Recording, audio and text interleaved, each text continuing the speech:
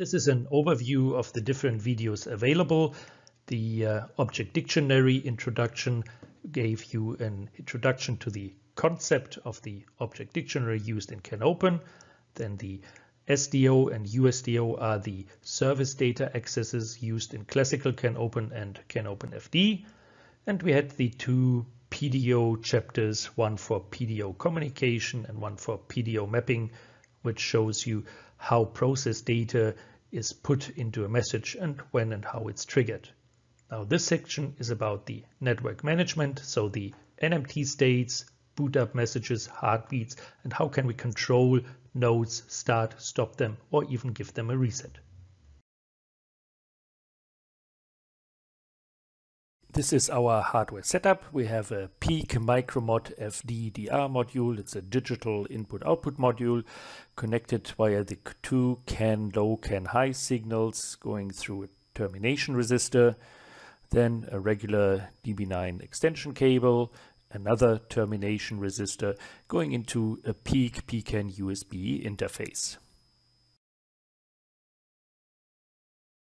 Here we have CANopen CANopenMagic, which communicates with the PCAN USB device, and we are at 500 kilobits per second. The I.O. module is set to node ID 12, so that's hexadecimal or decimal 18, and we have the network overview window opened for later. For the trace recording, I'm now setting some filters because for this demo, we are only interested in a few messages and want to ignore everything else. So as number one message, we pick the NMT message, the Network Management Master. And as second, we select the heartbeats because we want to see all the heartbeats and nothing else in our system. I'm now powering up the device. And as a first message, we see the boot up message, and then comes the heartbeat of node number 12. I'm scanning the network to get the details about the node number 12. It's now pre-operational. To get it into the operational state, I'm now clicking on the NMT operational message and the device is in operational. Clicking on stopped puts it into stopped mode and I can bring it back to operational by transmitting another NMT message operational. Let's also do a reset. Now in the trace we can now see that after the NMT reset the device boots up again so there's another boot up message and it's back into pre-operational. Also from here we can set it to stopped mode and again out of there by transmitting the appropriate NMT master message.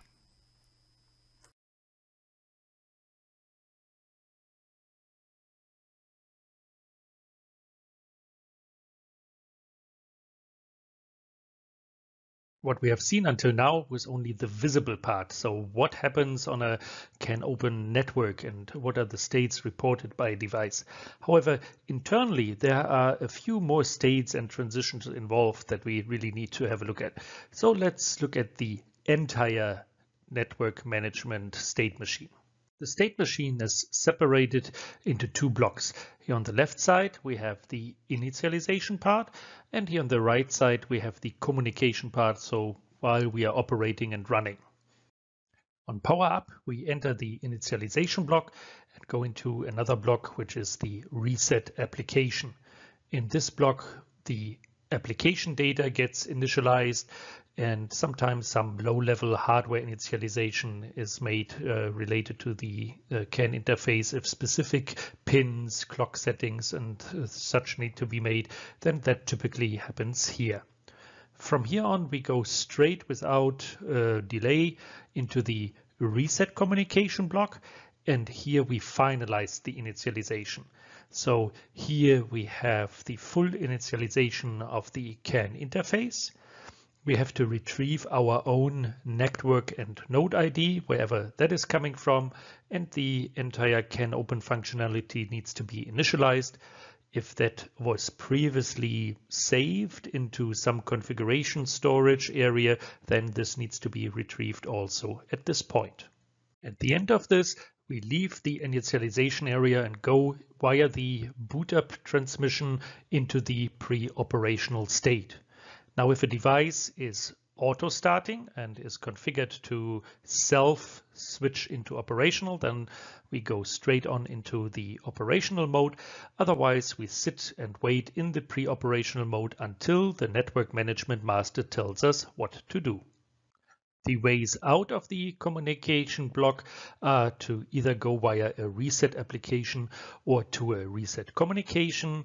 The main difference is that uh, the reset communication really just resets everything around the CANopen and CAN communication.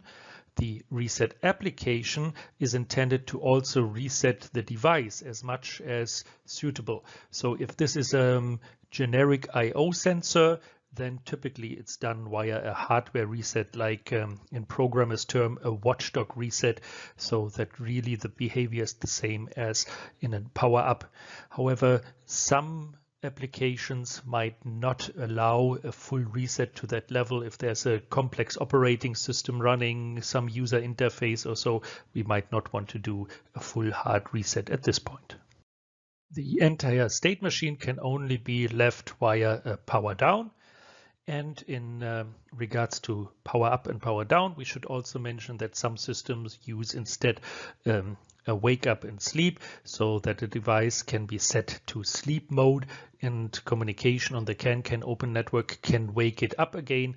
And typically after a wake up, the default arrangement is that we start with a full reset application again and run through the entire initialization.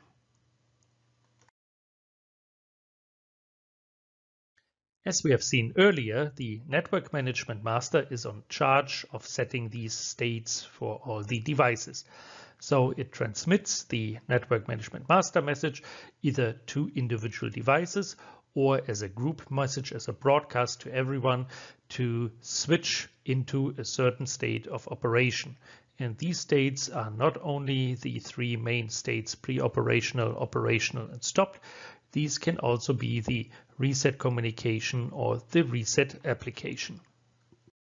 As a result, the master is fully in charge of switching all the devices and making sure they operate as expected. And how it works is that typically it recognizes the boot up message when a device fires up. It will then leave the device in operational until the master figured out, hey, which device is it? Is it the one that I expect? And does it have the configuration that I expect? If uh, it still needs to be configured, then transmit the configuration. And only when this is done to all nodes and all the expected nodes are present, will the master switch the devices into the operational state.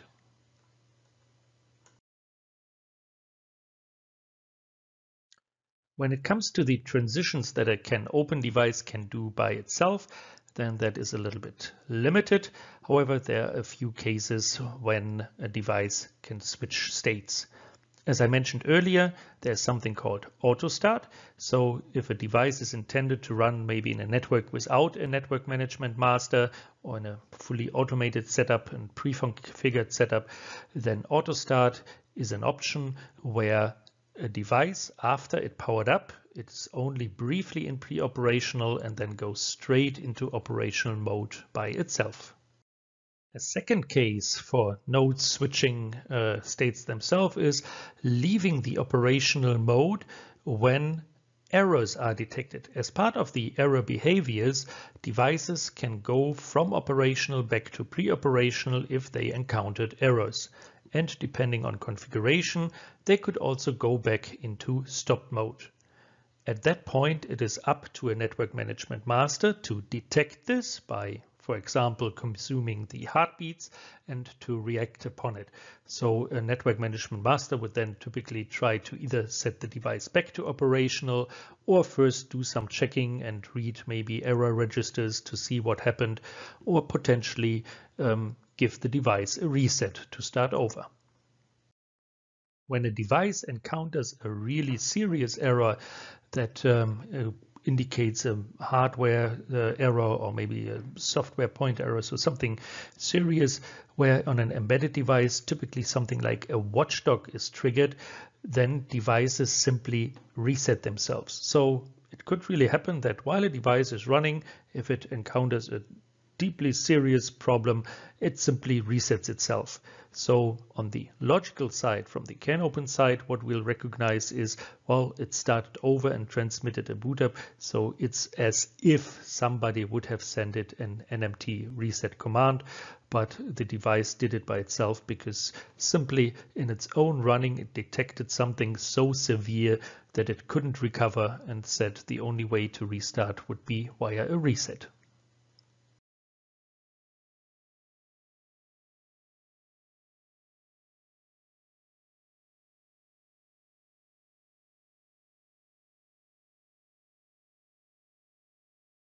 Until now, we have seen all the different states and how we can switch them, but we have not yet discussed what is really the difference in the different states. What, what kind of a difference make this when I try to communicate with the device? And uh, really the states control which communication protocols are used and available. So looking at the network management and the heartbeat message, these are available anytime. So no matter in which of these three states, pre-operational, operational, or stopped a node is, it will always treat the heartbeats and network management message. The emergencies and SDOs, or in CANopen FD USDOs, the service data access, is only available when we are not stopped, so in pre-operational and in operational mode. This ensures that a master has full access to a device that is in pre-operational mode via the service access. It can read and write all parameters of a device. And last, the PDOs, the process data objects, those are only available in operational state. The idea is that these cause a lot of additional traffic and there's an easy way to enable, disable all the PDO communication simply by switching the states and so only in operational state all the data communication is available. Otherwise in pre-operational we are limited to the service data.